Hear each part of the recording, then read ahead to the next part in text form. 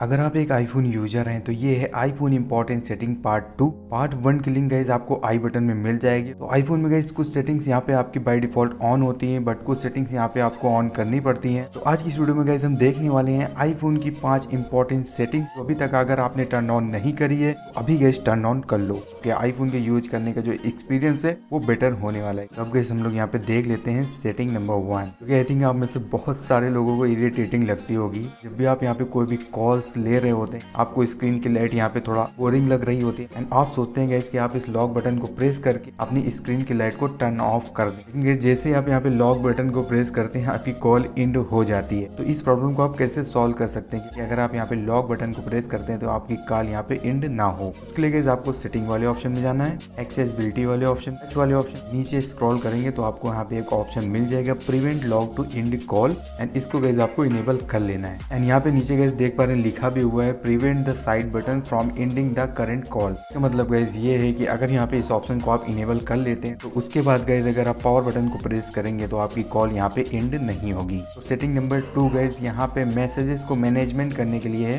तो गैस यहाँ पे आपके कई सारे जो मैसेज होते हैं, जो स्पैम होते हैं, वो सभी एक ही साथ में आ जाते हैं. तो इससे गैस ये होगा कि आपके जो भी इंपॉर्टेंट मैसेज रहेंगे, उसको आप बहुत ही ईजिली फाइंड कर पाएँगे, क्योंकि यहाँ पे आपके जो भी स्पैम मैसेज रहेंगे, वो यहाँ पे एक सेपरेट फोल्डर में चले जाएँगे. तो इस सेटिंग को टर्न ऑन करने के लिए आपको अपनी सेटिंग वाले ऑप्शन को ओपन करना है, नीचे स्क्रॉल करना है मैसेजेस वाले ऑप्शन में जाना है। सबसे नीचे स्क्रॉल करके आ जाएँगे तो यहाँ पे आपको ऑप्शन मिल जाएगा फ़िल्टर अननाउन सेंडर तो यहाँ पे गैस ये आपका टर्न ऑफ़ होगा, आपको इसको टर्न ऑन कर लेना है। इतना कर लेंगे गैस तो यहाँ पे आपके जो भी इंपॉर्टेंट मैसेज है, वही आपके इनबॉक्स में सबसे पहले आपको दिखेंगे एंड जो भी आपके स्पैम मैसेजेस हैं, वो सेपरेट हो जाएँगे। एंड इससे आप कोई भी इंपॉर्टेंट मैसेज ढूंढना चाहेंगे तो वो आपको बहुत ही इजिली मिल जाएगा। एंड तीसरी जो इंपॉर्टेंट सेटिंग्स है, वो भी मैंने आपको एक टिप्स एंड ट्रिक्स की वीडियो में बताया है एंड आप में से बहुत सारे लोग हो सकता है उसको इग्नोर करते हो बट ये सेटिंग गाइस काफ़ी इंपॉर्टेंट है। अगर आप अपनी सेटिंग वाले ऑप्शन में जाएँगे फ़ोन वाले ऑप्शन में जाएँगे तो यहाँ पे आपको एक वाईफाई कॉलिंग का ऑप्शन मिल रहा होगा। इसको गाइज़ आपको टर्न ऑन कर लेना है। इसको टर्न ऑन करने के बाद गाइज़ आपका नेटवर्क यहाँ पे अगर वीक भी रहेगा, आप यहाँ पे वाईफाई से कनेक्ट रहेंगे तो आपकी जो भी कॉल रहेगी वाईफाई के द्वारा राउट होकर उसकी क्वालिटी को बेहतर कर देगी। इससे आपकी वॉइस भी क्लियर आएगी एंड आपके आईफोन की जो बैटरी वो भी कम ड्रेन होगी।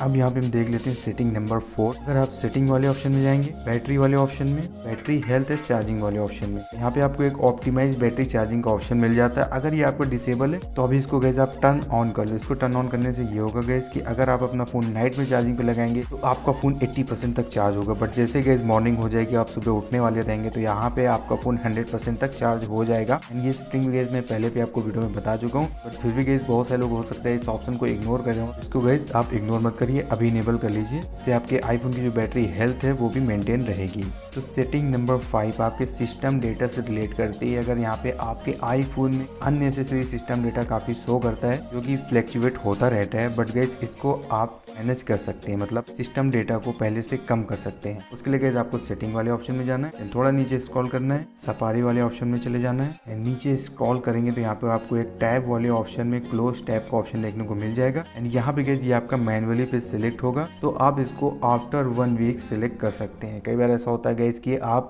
नेट पे कुछ भी यूज़ करते हैं एंड काफ़ी सारे यूज़ करते करते टैब्स ओपन हो जाते हैं एंड वो टैब गैस यहाँ पे आपके अदर सिस्टम डेटा को काफ़ी हद तक कवर करते हैं एंड काफ़ी सारे टैब हो जाते हैं तो आपको क्लोज करने में भी मुश्किल होता है एंड वो टैब ओपन ही रहते हैं। बहुत सारे लोग उसको इग्नोर करते होंगे। आपको ये भी नहीं पता होता है कि यहाँ पे अगर आपका टैब ओपन रहता है तो आपका जो अदर सिस्टम डेटा होता है उसका भी स्टोरेज काफ़ी यहाँ पे कवर हो जाता है। तो यहाँ पे गैस अगर आप आफ्टर वन वीक लगा देते हैं तो यहाँ पे हर हफ़्ते गैस आपके जितने भी अननेसेसरी टैब ओपन रहेंगे, वो ऑटोमेटिक क्लोज हो जाएँगे। इससे गैस आपका जो सिस्टम डेटा है, वो ऑटोमेटिक मैनेज रहेगा। आई होप गैस आज की वीडियो आप लोगों को ज़रूर पसंद आई होगी। तो अगर वीडियो अच्छी लगी हो तो वीडियो को लाइक ज़रूर कर देना। चैनल पर नहीं हो सब्सक्राइब नहीं किया तो सब्सक्राइब भी कर देना। तो मैं मिलता हूँ आपसे इसी तरीके एक न्यू इंटरेस्टिंग वीडियो में। तब तक के लिए thank you so much for watching bye